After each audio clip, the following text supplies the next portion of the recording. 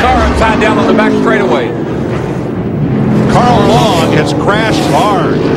Collected Bobby Labonte in the process. Somebody hits Oh, he just gets hooked. Yep. Look, yeah. Brendan Gaughan got in the back of Joe Nemechek in the 01. Brendan Gaughan is 77. And Carl Long goes for the wild ride. And that's all on driver's side right there sliding down the racetrack. Now she starts to tumble. Two, three, four, five.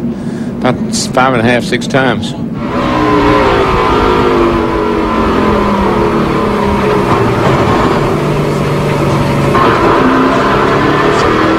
That's that's when you call your crew and you say, "You won't believe what I just saw."